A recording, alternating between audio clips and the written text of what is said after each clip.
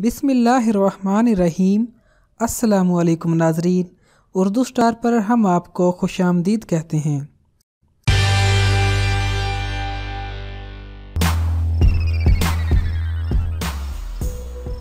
आलमी इदारे सेहत के मुताबिक गेमिंग एडिक्शन या गेम खेलने का नशा एक डिसऑर्डर है, जो कि इंसानी जिस्म और जहन को बुरी तरह मुतासर करता है। आजकल के दौर में जब हर इंसान के पास स्मार्टफ़ोन होता है तो वो किसी न किसी तरह की गेम्स खेलने के आदि होते हैं। हालिया दिनों में नौजवान नस्ल पबजी खेलने के नशे में इस हद तक मुबतला है कि गुजश्ता दिनों पहले फैसलाबाद का एक नौजवान इस गेम को खेलने के सबब इस हद तक जहनी दबाव का शिकार हुआ कि उसकी मौत वाकया हो गई। डॉक्टरों के मुताबिक ये पिछले दो महीनों के दरमियान होने वाली चौथी मौत है, जिसका शिकार पबजी खेलने वाले अफराद हुए हैं सवाल ये है कि पबजी इंसानी एहसाब पर किस तरह से असर अंदाज हो रही है कि नौबत मौत तक पहुँच रही रही है। इस हवाले से माहरीन की तहकीकात के मुताबिक आज हम आपको इस वीडियो में बताएँगे, पबजी क्या है? ये मादी की बहुत सारी गेम्स की तरह एक गेम है, जिसकी सबसे पहली खास बात ये है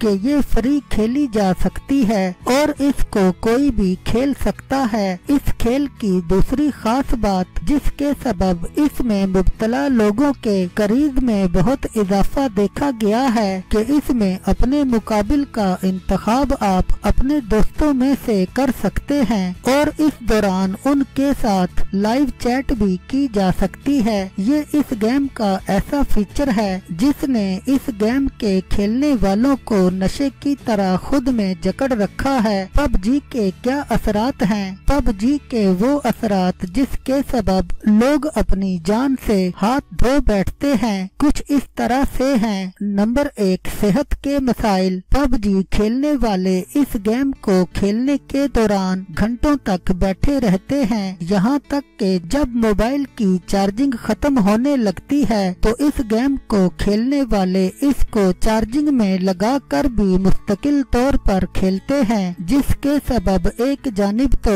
उनमें मोटापा शुरू हो जाता है। एक ही हालत में बैठे रहने के सबब उनके पट्टे और हड्डियाँ कमज़ोर होने लगती सकती हैं और इसके साथ साथ मुस्तकिल तौर पर स्क्रीन पर नज़रें जमाने के सबब भी नज़र भी कमज़ोर हो जाती है। नंबर दो, दिमाग पर असरात। माहरीन नफ्सियात के मुताबिक जब ये गेम खेली जाती है तो दिमाग के सेल शुरू में एक्टिव हो जाते हैं और इसके बाद वो कुछ ऐसे हार्मोन का अफराद करते हैं, जिसके बायस इंसान खुद को एक अनदेखी दुनिया का बासी समझने लगता है जिससे उसके दिमाग के एसाब बुरी तरह मुतासर होते हैं और उनमें खिंचाव की कैफियत तारी हो जाती है और इस ख्याली दुनिया से बाहर आने के बाद भी इंसान खुद को उसी दुनिया का हिस्सा समझता है। इस वजह से उसके अंदर चिड़चिड़ापन पैदा हो जाता है। नंबर तीन, रवैये में तब्दीली।